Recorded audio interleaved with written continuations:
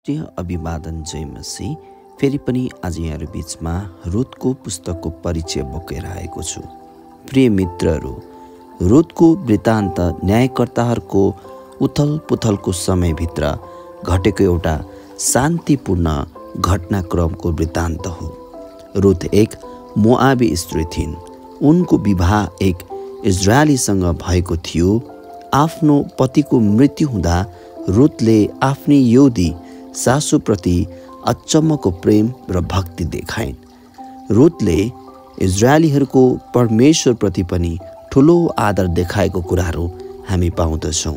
उनी सासूकै देशमा जान राजी पनि भएकी एक स्त्री हुन् र त्यहाँ उनले आफ्नो पतिको कुटुम्बमा दोस्रो विवाह पनि गरेको कुराहरू हामीले यस पुस्तकमा हामीले अध्ययन गर्न सक्छौँ।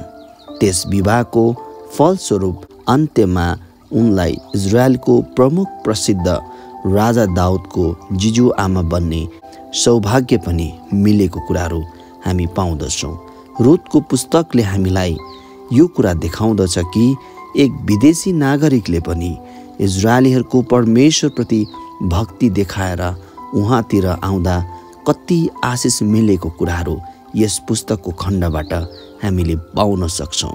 परमेश्वरले साधारण भन्दा पनि साधारण मानिसलाई र यस घटनालाई पनि आफ्नो काममा प्रयोग गर्न सक्नुहुन्छ भन्ने कुरा यस पुस्तकबाट हामी प्रस्टिन सक्छौँ र यस रुदको पुस्तकको परिचयबाट परमेश्वरले आशिष दिनुभएको होस्। जय मसी